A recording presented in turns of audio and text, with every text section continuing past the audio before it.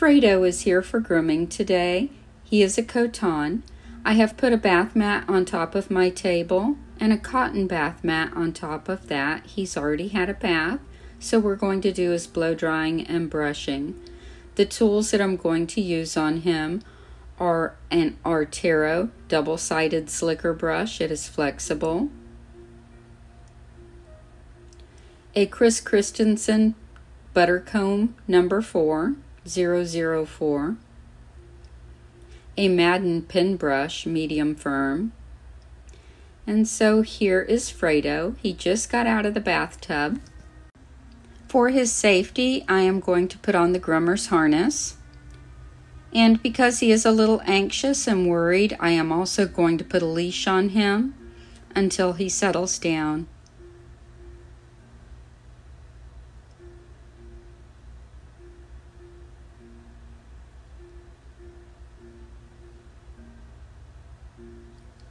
He may be worried about the drying process, but I only use quiet blow dryers. This is a Shernbao wall mount dryer that I'm using on him, and it is, it is nice and quiet.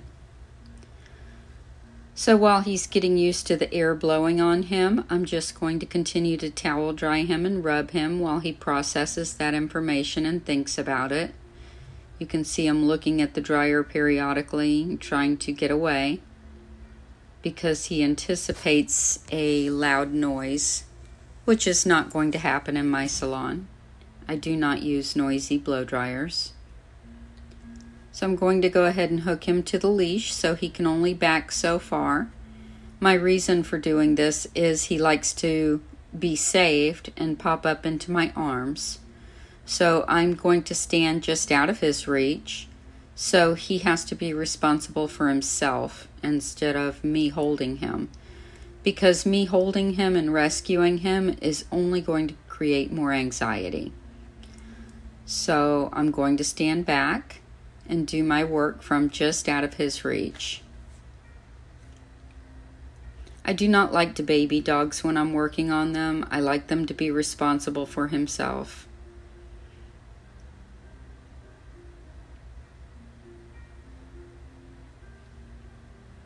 I'm going to blow dry him using the Madan pin brush. This brush is great for really thick coats and this dog has an extremely thick coat. The idea of this brush is to break up the hair and loosen it up.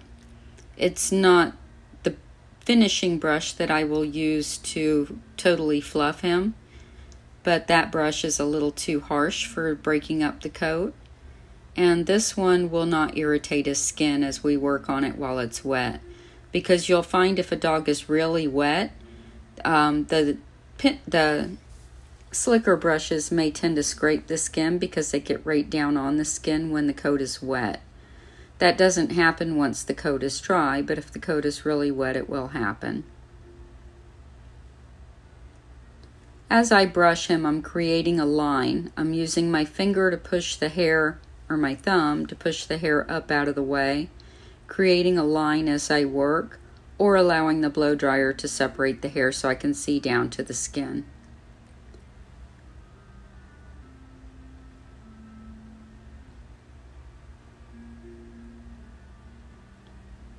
So wherever I work, I want to be able to see the skin.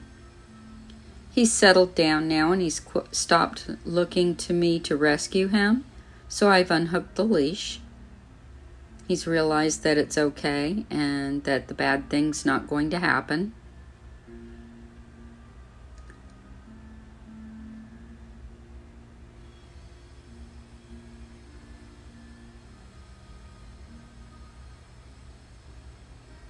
I give him long, slow strokes across his body. That is comforting. Now he's looking for me to rescue him again so I'm standing just out of his reach to prevent that from happening. And this is one of the reasons why I like working with the groomer's harness because as he pops up or strains towards me, it doesn't put any pressure on his throat. And you see how he's looking down towards the table, so that's telling me he wants to lay down. So I'm going to loosen him up enough to give him that opportunity.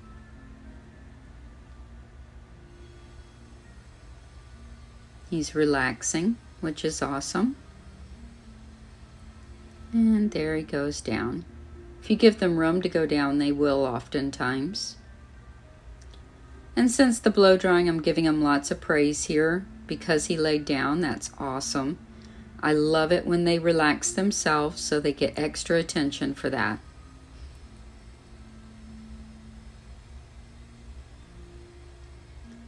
So here again, you can see I'm creating the line so that I can see the skin, pushing the top hair up out of the way and brushing from the skin out instead of just brushing over the top. As I'm blow drying, you'll see me go back and forth between going over the top and coming from the skin out. But if you're brushing your pet at home, you really want to go from the skin out everywhere that you can. So everywhere I work, I'm using hair to put my hand to push the hair up out of the way.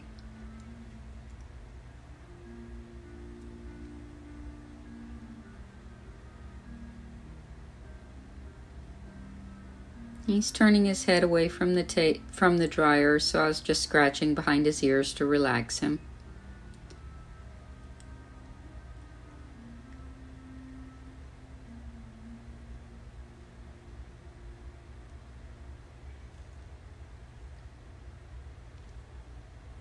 So I'll just continue on brushing the entire body.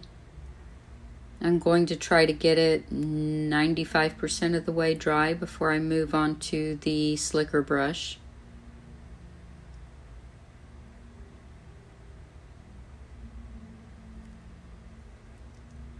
It's really important when you're brushing your dog to remember to brush the ears, the tail, under the arms, the collar area. If the dog wears a harness, be sure to get the chest under the arms and around the rib cage where the harness lies. I always recommend working on your dog on a surface, just as a groomer would, and giving them a non slip pad underneath them so that they can get comfortable and have sure footing. The technique that I am using for the blow drying is the same technique that you would use for your regular brushing. A dog with a coat this length should be brushed thoroughly from one end to the other at least every five days and every time that you wash the dog or the dog gets wet. If a dog with a coat this length gets wet or washed, and you do not brush the dog and comb the dog from one end to the other that same day, the dog will become matted, usually within 24 hours. So we'll just continue brushing. I'm going back and forth between the pin brush and the slicker brush. The slicker brush is being used to fluff up the hair, especially on the legs.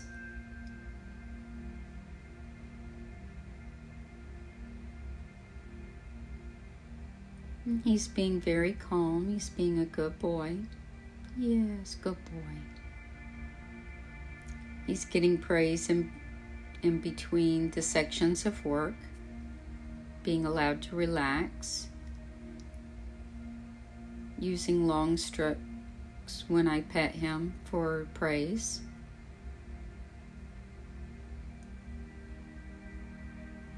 I like to have the dog stand up when I'm working on the legs.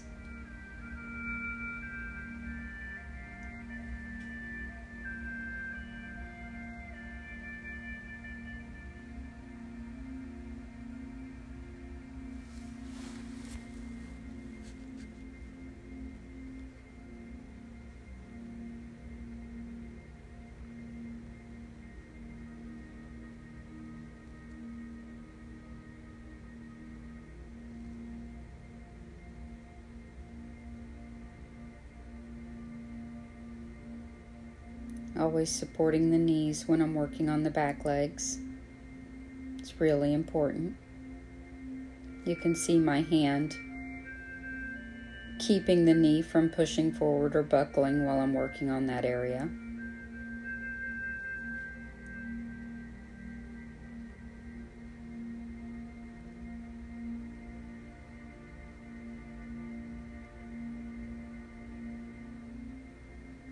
A nice loose touch when I'm working really helps a dog to relax.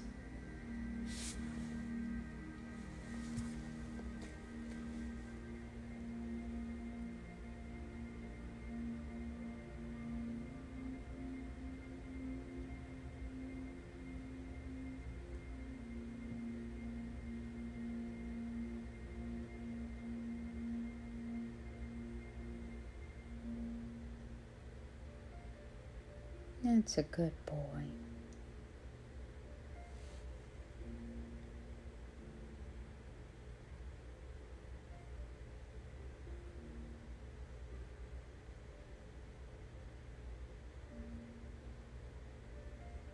Encouraging him to lay down so I can do the top of his back, doing the line brushing technique. Again, pushing the hair out of the way so I can go from the skin out.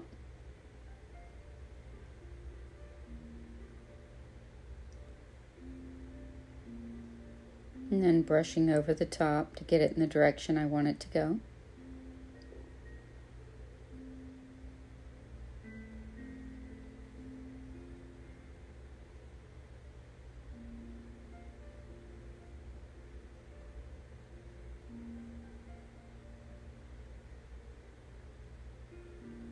He's such a good boy. Good.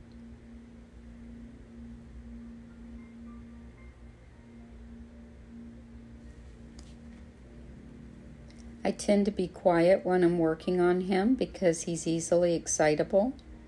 When I give him too much verbal praise, he wants to pop up. So I'm keeping my praise to touch as much as possible, as that suits his personality. Here I'm using a Chris Christensen face comb. It's a 5 inch comb. It's super fine and extra, extra fine teeth. I like to use this around the face.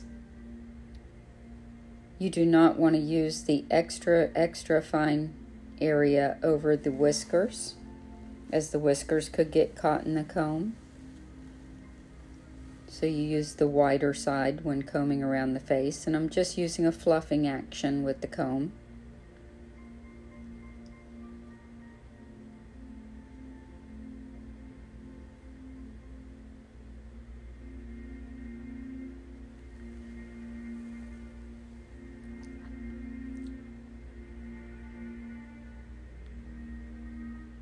He's so relaxed. He's such a good boy.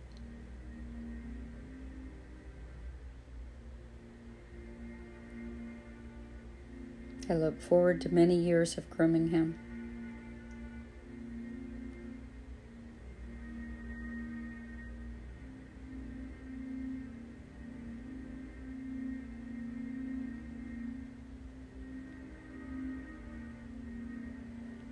Sure to get behind the ears really good.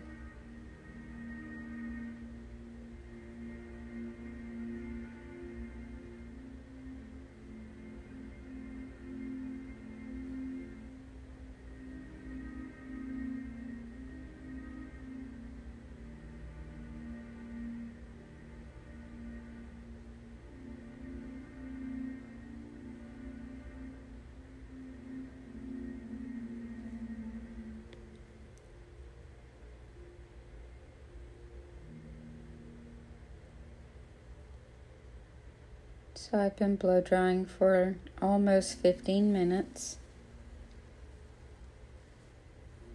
His entire appointment time is one hour. So we spent about seven minutes in the tub and 15 minutes on the drying, which would put us at 22 minutes, which leaves us plenty of time to get his scissoring done without the use of high powered tools.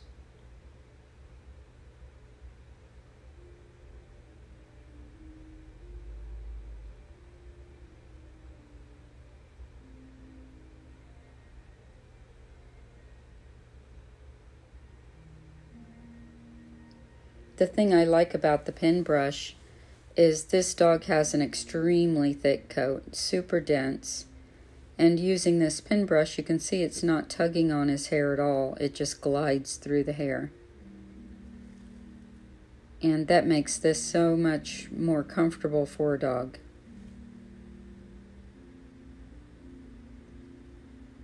If I used a firm, slicker brush on him, it would be tugging even though there's no tangles in his hair. So now we're going to brush underneath. He doesn't really have the personality that I think will lay on his side, at least not during this first grooming. So I did it that way.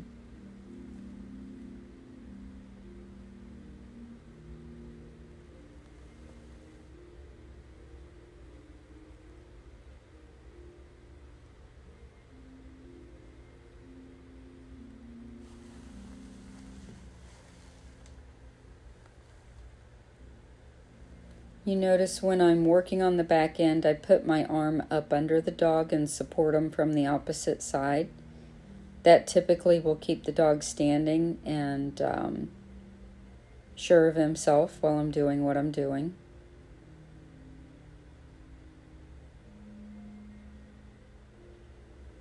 Now that the hair is all broken up, I'm going to do most of the work with the double-sided slicker and you notice I have my finger right in the center of the brush putting pressure right in the middle of the brush just to give it enough firmness so that it, it goes down deep into the hair. If I just held it by the handle and did not put pressure with my finger, it would not be very effective. So you can see my finger in the center of the brush, giving it just enough pressure to reach down in.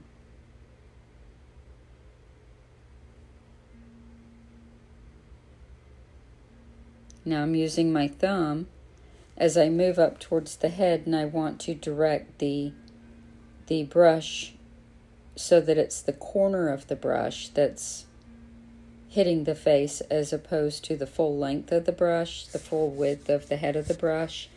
Then I'll put my thumb on the edge and direct the brush towards the direction that I want it to go.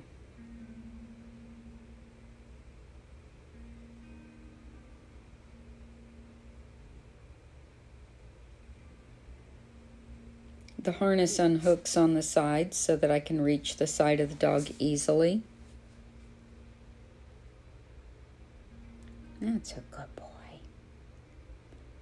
So when I release a dog from the work that likes to pop up on me, I'll use the popping up as a reward.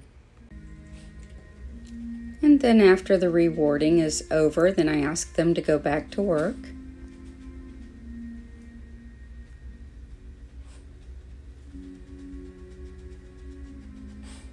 When brushing a dog with very thick hair like this one, you have to put a little bit of pressure into the brush. Now that the hair is nearly dry, the brush is not reaching down towards the skin because the hair is so thick.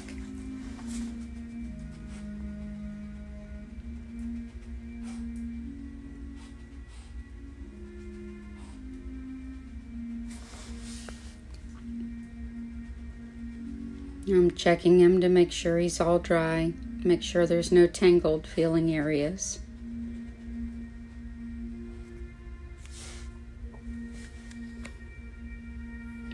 So now it's time to check over the entire dog with my wide tooth poodle comb. It's the Chris Christensen Butter Comb, number 004. A wide tooth comb works really good on these thick haired dogs rather than a narrow tooth comb for this checking over to make sure that there's no knots in the hair. I'm going to go over every inch of the dog, making sure that the comb slides through. If it does not, then I go back in with the brush and then recheck with the comb. I never use the comb to pull out knots. It's only to check for knots.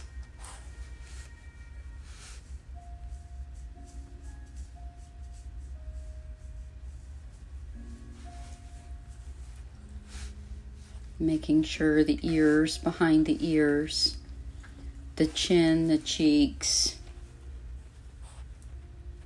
the mustache, everywhere I can slide the comb from the skin all the way out. Now I'm going to remove the harness. He's being a really good boy. And comb and brush underneath the harness. He's nice and relaxed now, so I'm not worried about him getting too anxious.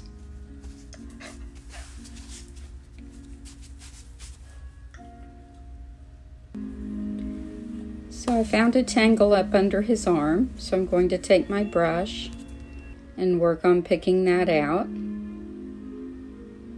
recheck with the comb. Now the comb slides through. There's another one. That area is usually caused from wearing a harness, so you have to pay really close attention to those areas. He's such a good boy. So I'm going to put him on the floor for just a moment and get my table prepared for scissoring him and clipping him.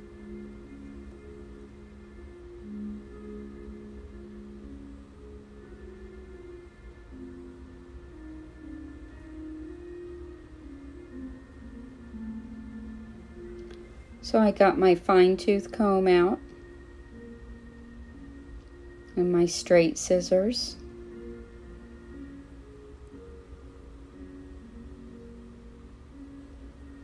And we'll get started on scissoring.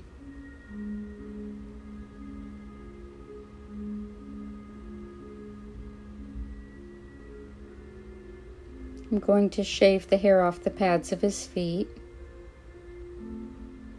Let him smell the clipper.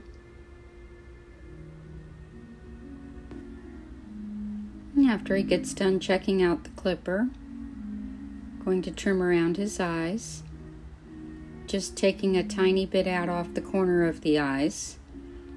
Cotons do not look good with the eye area scooped out. I'm going to trim his belly. I don't get carried away with this type of trimming, especially on white dogs, just a nice light touch with a seven blade.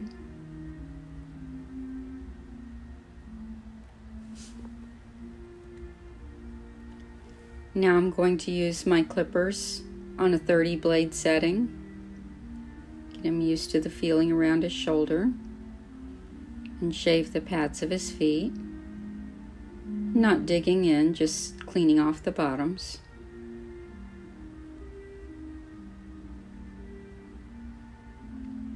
Making sure he's familiar with the tool as I go.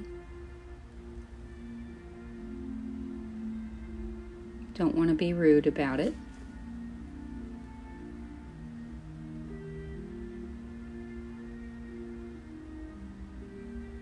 Always careful not to lift his legs too high. Good boy.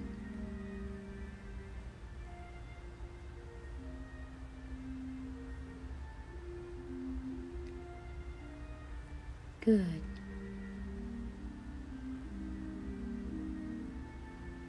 The very end of the sheath just a little closer. That's a good boy.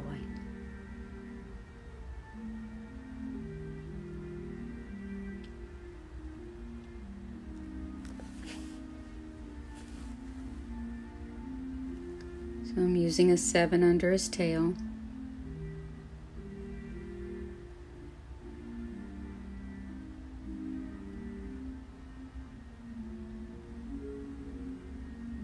Just a nice light touch.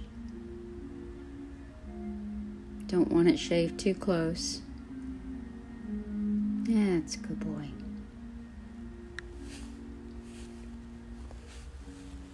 Good boy. Give me five. Another praise session with the thing that he finds comforting.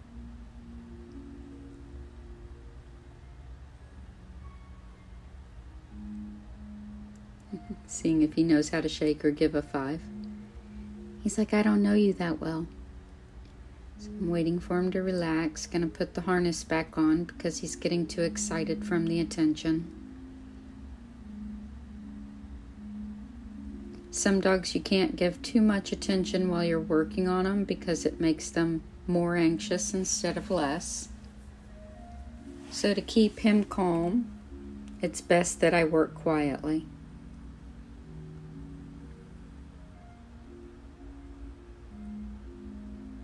I'm going to ask him for some self control. So now I'm using my fine tooth comb. It's an Utsumi finishing comb. And scissor off around his feet.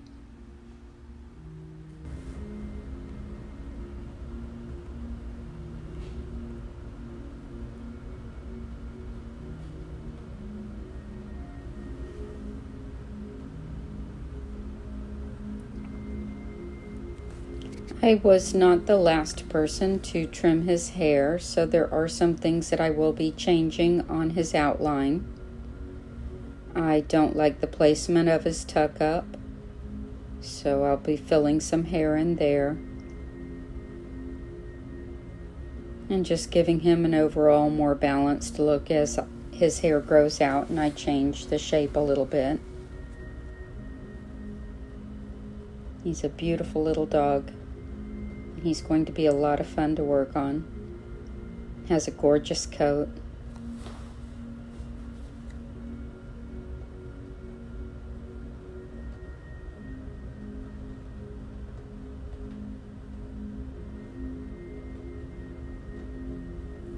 So the area where I'm going to fill in more hair is where the back leg goes into the underline of the body. That's just too sharp and too high up for my taste.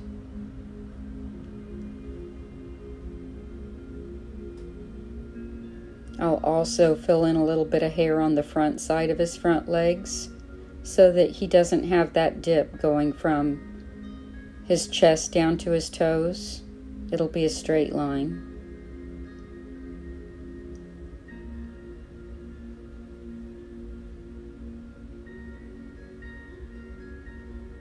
That will give him a little more fullness and that tiny bit of hair grown out will change the entire dynamic of the haircut.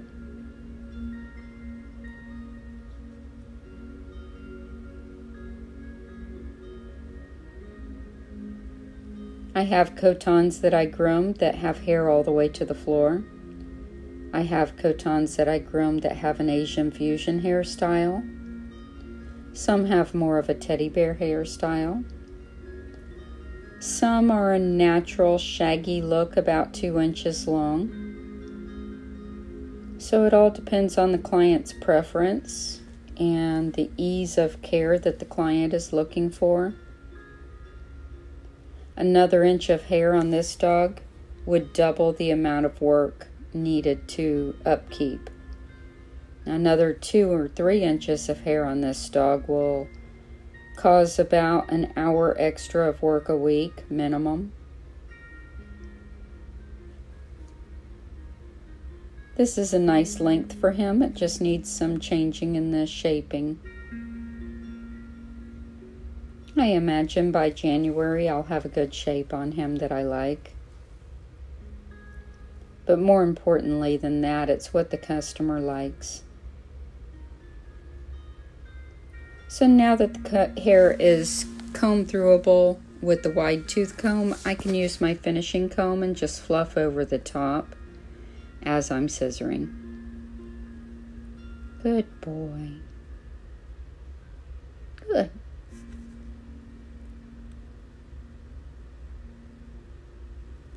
He's a very obedient dog.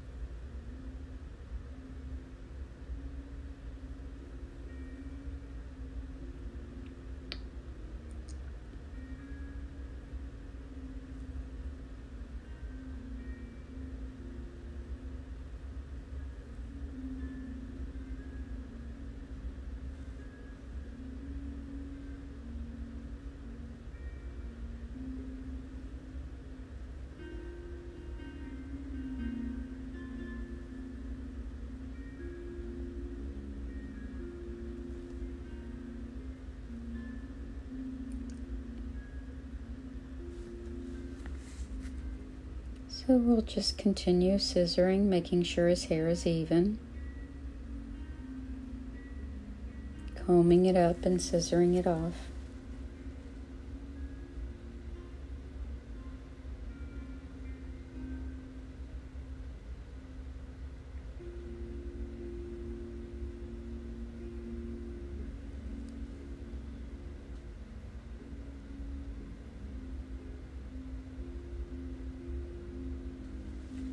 So I've removed the harness to finish him up. He's standing nicely with a lot of self control.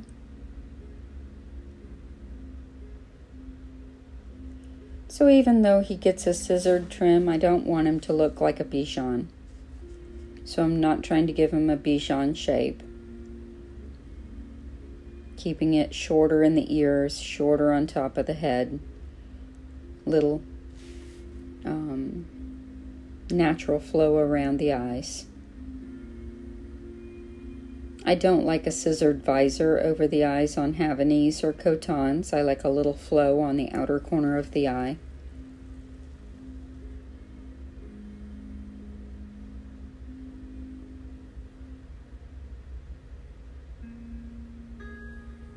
Shooting for a nice level top line.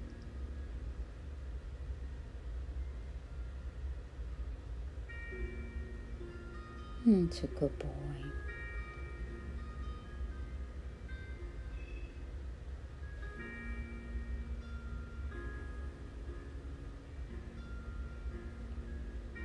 Make sure all the lengths of the coat match. Thank you for watching.